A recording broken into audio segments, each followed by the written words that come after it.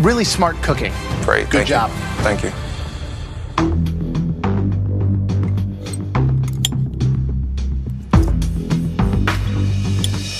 Remarkable. This dish shows the best of who you are as a person and your ability as a cook, no doubt. Congratulations. Thank you, Joe.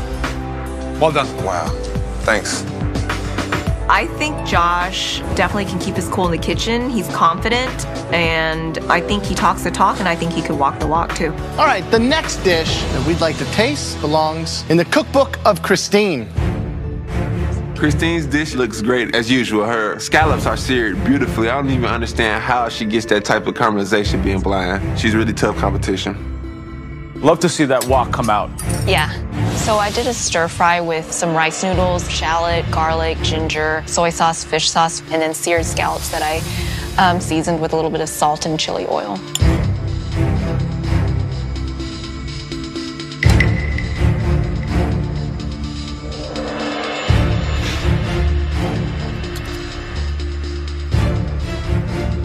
It's really um, a complete sensation because it's kind of salty, sweet, rich. The noodles have a great texture to them. It's very intense.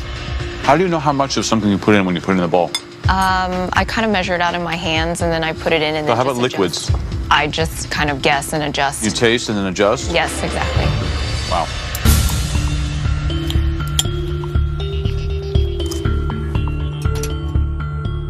Oh, they taste incredible. And the flavor of the scallop shines through. Good job. Thank you, chef.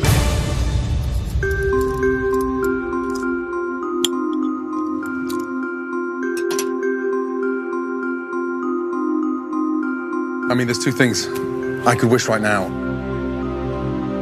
I wish you could see this bowl of food, and I wish your mother was standing next to me tasting it because it's a true testament of where you've come in this competition. I'm telling you, absolutely delicious. Well done. Thank you. It's good. It's good. Okay, uh, Becky, please bring your dish. Tell me about this dish. I made pan-fried loup de mer fish soup with sunchoke puree, roasted fennel, and vinaigrette with charred jalapeno and scallions. I mean, it's a pretty small portion for an entree. Yeah, the fillets were going to be too small, so I ended up taking the fish that I used to make the stock, and I turned that into like a fish soup with roasted fennel.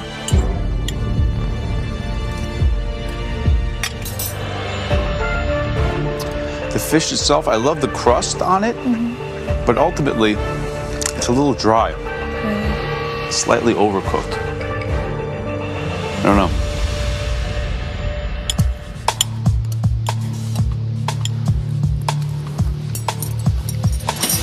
I mean, it's seasoned well, but it, it's not a cohesive dish. It doesn't scream who you are. I guess I think that the type of food that I grew up eating is not very like sophisticated, so I think that for me, I'm trying to maybe do too much than I can right now. And then I was just thinking about what I should be doing to like for you guys and to beat them, and I just completely lost it. And I don't have a good excuse.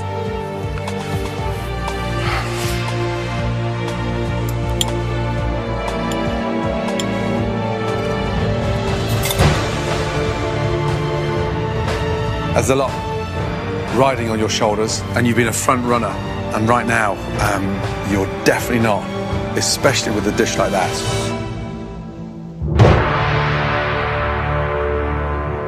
It was the wrong thing to pick. and you know that you can't butcher it. Doesn't quite make sense, does it? At this stage of the competition. No. And then you look at Christine Scallops. Josh knew right away he's doing a curry. Yeah, yeah, blend of spices, that would be delicious. We've ranked the dishes from first place, second, and third, and that will determine who gets the biggest advantage in your final elimination test. The person who cooked the dish at the bottom of the pile was Becky. It's down to Christine and Josh. The person who prepared and cooked the best dish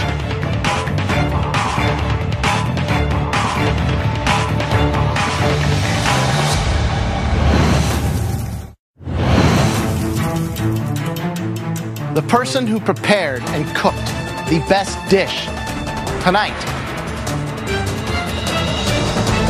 Christine. That dish was phenomenal. Thank you. Absolutely mind blown. How'd you feel? Great. I'm glad I won the last mystery box. I'd be pissed off if this sucker won, man. Christine, well done. Thank you. Going into this elimination is essentially the most pressure that I've ever felt. I have to come back. I have to redeem myself now. Okay, up next is your final elimination challenge. Let's all go into the pantry and you can find out what your advantages are. Please, let's go. In the final elimination challenge, all three home cooks will each make one dish, with the best two moving into the grand finale. You are about to find out the consequences of winning and losing that final mystery box challenge. Christine, once you've heard what the three very different ingredients are, you'll get to pick which one you alone will cook with. Josh, for coming in second, you get to pick from those remaining two ingredients. Of course, that means, Becky, you don't get a choice. The theme of tonight's final elimination challenge is legs. And the first legs are leg of lamb, a classic cut of meat, but difficult to cook. The next legs used to belong to chicken. Used in every cuisine and culture around the world. And the third and final personal favourite of mine, I absolutely love them. Hello, Kermit.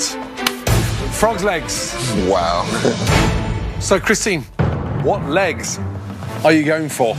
I have to think about do I play to my strength or do I pick something that leaves someone else to get screwed on? Hopefully, I can do both. Um, maybe the simplest and the least expensive, but I think I can do the most with them. So I'm gonna go with the chicken legs. Wow. Josh, think very carefully. So essentially, I am picking for me and for Becky right now. I mean, this is a huge advantage. What are you thinking? Um, I don't think Becky's ever cooked with frog legs before. So I'm gonna have to choose the leg of lamb. Becky, when was the last time you cooked frog's legs? Um, that would be never, chef. when was the last time you ate frog's legs? Again, never. Wow. You all have 10 minutes now to shop for anything else you need to make a dish that can get you to the MasterChef finale. That 10 minutes starts now. This is the last dish before the final, so you have to play to win. Now is not the time to be around with frog legs. I have to cook something with these frog's legs that's going to show the judges that I belong in the finale. And I have no idea how to cook with these things. Okay, we've got a surprise for you, and it's waiting back in the MasterChef kitchen.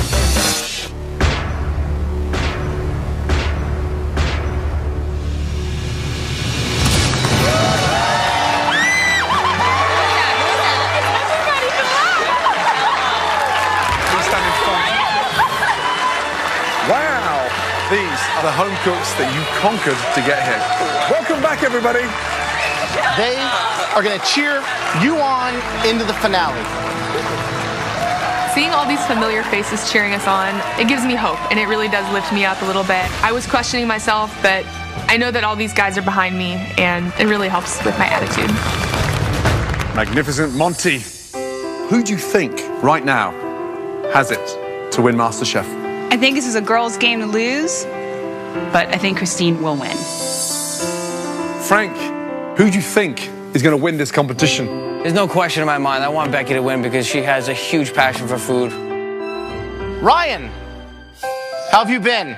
I've been very good, thank you. Who will win MasterChef? Josh will win MasterChef. Well, it's great to have you all back here in the MasterChef kitchen. Please head up to the balcony, show your support for the final three. You three, onto your stations, please. Thank you. You will be going on to the MasterChef finale. Becky, Christine, and Josh, your time starts now.